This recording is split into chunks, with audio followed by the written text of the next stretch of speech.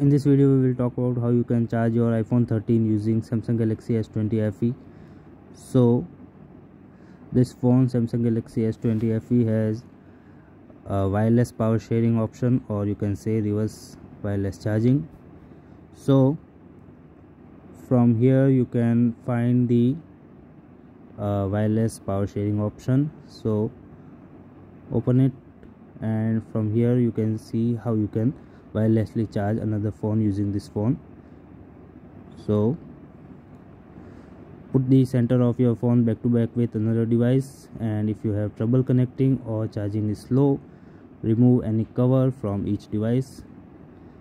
So uh, more information about it and uh, if we talk about you can change the battery limit from here. It is uh, set to a minimum 30 percent and you can increase it. Charging will stop when your phone reaches the battery percentage you set. So uh, turn it on from here and it is ready to charge now.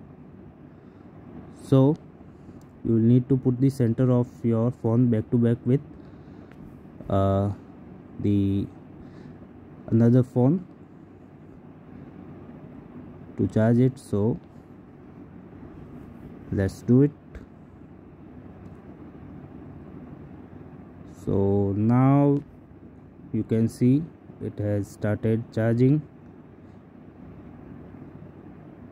So you can see it is charging. So this is how you can wirelessly charge uh, iphone 13 using samsung galaxy s20 fe and if you remove the phone from the back side of uh, S20 FE and it will stop charging. So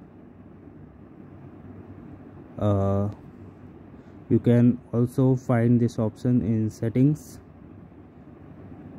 battery and device care open battery settings and from here you can find wireless power sharing option.